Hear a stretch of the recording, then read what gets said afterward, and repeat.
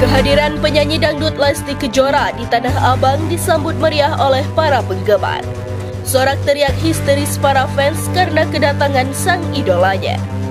Sebelum tampil di atas panggung, Lesti Kejora dikawal ketat oleh beberapa personel kepolisian untuk menaiki panggung.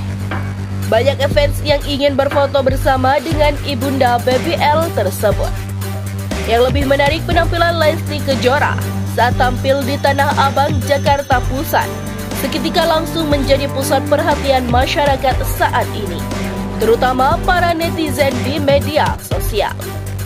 Bahkan beberapa warganet mengatakan penampilan Lesti Kejora sungguh begitu sempurna dan sangat menghibur.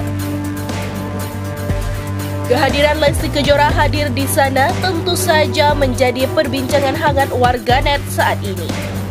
Baik di medsos tak sedikit dari netizen terkejut dengan kehadiran Lesti Kejora di Tanah Abang tersebut. Selanjutnya penyanyi Lesti Kejora baru-baru ini mengeluarkan lagu anyar berjudul Terkesan.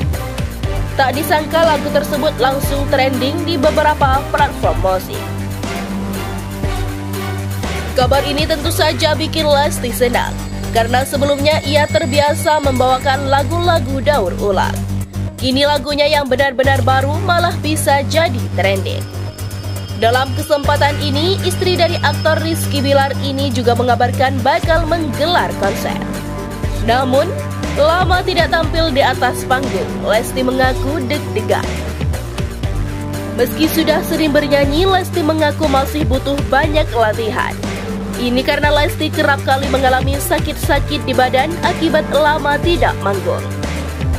Lesti Kejora, seorang penyanyi dangdut jebolan Dangdut Academy kembali merilis single terbarunya yang berjudul Terkesan. Melalui kanal YouTube 3D Entertainment, lagu ini baru saja dirilis pada Jumat tanggal 27 Oktober 2023. Hingga saat ini lagu Terkesan telah mendapat 100,6 ribu like dan telah ditonton sebanyak 1,6 juta penayangan.